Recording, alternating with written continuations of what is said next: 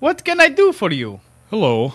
I ordered the jalapeno grinder, and it's not hot enough. What do you mean not hot?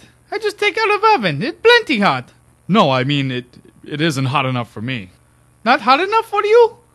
You you made a volcano? It don't get any hotter than oven temperature. That's impossible for the chef. No, I I mean it. It isn't hot enough, as in the jalapenos aren't hot. Jalapenos aren't hot? All jalapenos are hot. They're no sweet, I tell that. No, I, I'm not saying they're sweet. They just aren't hot to me. You a miracle then. They're plenty hot to me. My cousin Vincenzo, he nearly fall on the floor when he eat them. I say to him, Vincenzo, why you eat the pepper? You not like spicy things? He eat anyway. He's stupid. I tell him all the time, Vincenzo, you're stupid. Well, I'm I'm sure they are hot to him, but not to me. I I know my peppers. You think I don't know a pepper? I know all the peppers. Green, the red, the jalapeno, doctor. They all very, very good peppers, yes?